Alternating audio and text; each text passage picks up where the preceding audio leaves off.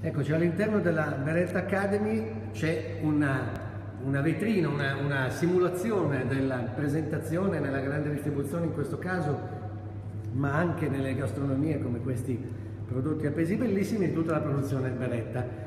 E ne parliamo con Lorenzo Beretta che è responsabile del commerciale, insomma responsabile vendite worldwide, il che vuol dire che oggi in Giappone, domani negli Stati Uniti e dopo domani Proprio la settimana scorsa ero a Tokyo e la settimana successiva a New York. Ecco, allora partiamo, partiamo da qua, cioè partiamo da quella eh, espressione che si chiama internazionalizzazione delle imprese, no? questo è un po' un mantra che si sente dire che poi invece si concretizza come in questo caso per voi?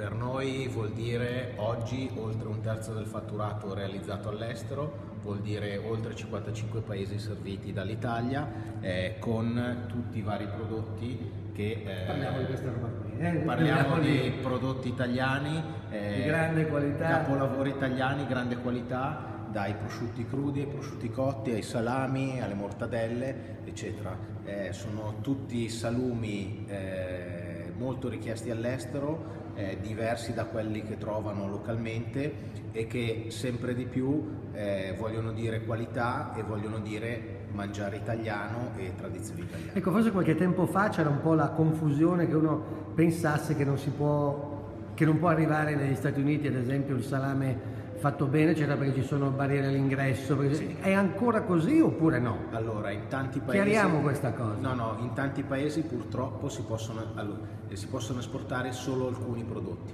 In generale il prosciutto crudo, tra i quali il, il primo eh, capolavoro, chiamiamolo, è il prosciutto di Parma, può andare in quasi tutto il mondo Seguono poi sicuramente i prosciutti cotti e le mortadelle, i salami in alcuni paesi possono andare mentre in altri ancora oggi esistono barriere sanitarie e doganali che impediscono l'importazione di questi salumi. Ecco, questo però non impedisce che il nostro prodotto italiano, in particolare i salumi, siano richiesti e famosi nel mondo. No?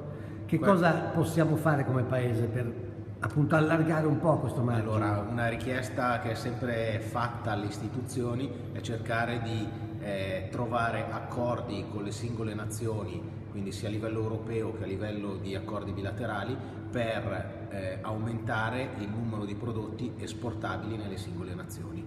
Quindi questo, qualcosa il governo può ancora fare?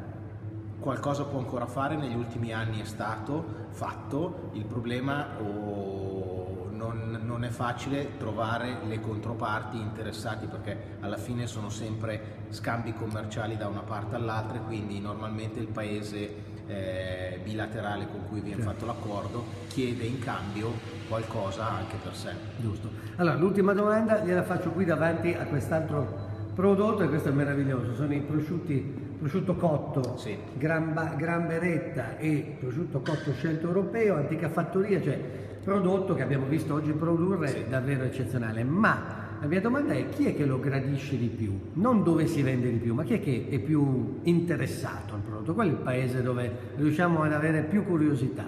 Allora, i paesi più interessati sono sicuramente gli Stati Uniti sono tra i più interessati, eh, il mondo asiatico apprezza molto per esempio i prodotti italiani, il Giappone ad esempio ha una grande cultura del mondo della carne, eh, nel mondo del suino o nel mondo del bovino e quindi apprezza tantissimo i prodotti italiani. Il suino italiano ha la caratteristica di essere un suino pesante, quindi con buona quantità di grasso e normalmente in tanti paesi europei questo viene visto a volte con un po' di eh, paura mentre in Giappone ad esempio o in altri paesi come gli Stati Uniti il grasso è indice anche di qualità certo. indice, e quindi questi paesi ad esempio vengono apprezzati particolarmente i salumi italiani. Bene. Poi comunque Nord America, Sud America, eh, Europa tutta e Australia stessa. Oggi quanta percentuale esportate voi? Oltre il 35%. 35%. Sì. E in quanti paesi? Oltre 55. Oltre 55. Bene, allora auguriamoci che diventino ovviamente 60 presto e speriamo che insomma, noi italiani riusciamo a riempire il Giappone di prosciutto quanto loro ci hanno riempito di sushi, facciamo così. Speriamo. Grazie. L'obiettivo è quello. Buon Grazie lavoro.